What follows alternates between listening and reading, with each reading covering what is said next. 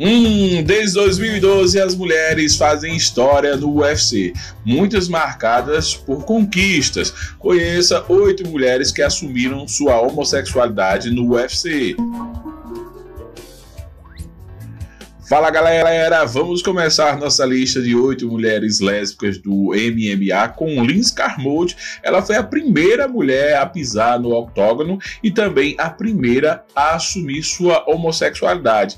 Ela que foi também da aeronáutica norte-americana. Também teve a brasileira Jéssica Andrade, que não fala muito sobre sua homossexualidade, não costumava dar entrevistas, mas quando deu, falou que também no MMA, no UFC existe sim muito, mas muito preconceito, segundo ela. Também teve Raquel Pennington, ela que é norte-americana, participou de um reality show UFC Ultimate Fight, venceu, ficou muito famosa, muito conhecida e também lá assumiu sua homossexualidade. Também tem a brasileira Ediane Gomes, que chegou a vencer um homem aqui no Brasil. Ela foi uma das pioneiras brasileiras e nunca escondeu de ninguém sua preferência por ficar por mulher. E aí não, nem liga para isso.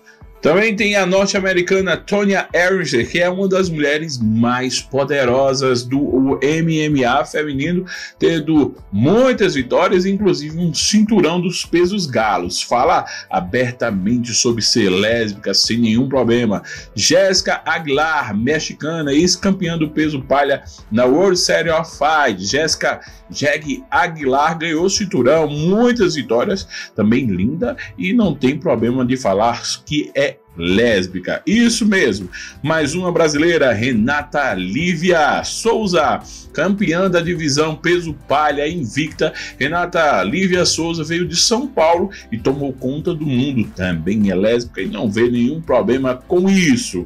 Quem chegou é ela, Amanda Nunes, que é a queridinha hoje de todos os brasileiros que acompanham o MMA. Muita gente torce sim e torce por ela também é lésbica e parece que não vê nenhum problema nisso, sempre vidosa. E aí, faltou alguém nessa lista? Vale lembrar que nem todas as mulheres, inclusive a Honda, uma das mais famosas, não é lésbica, viu?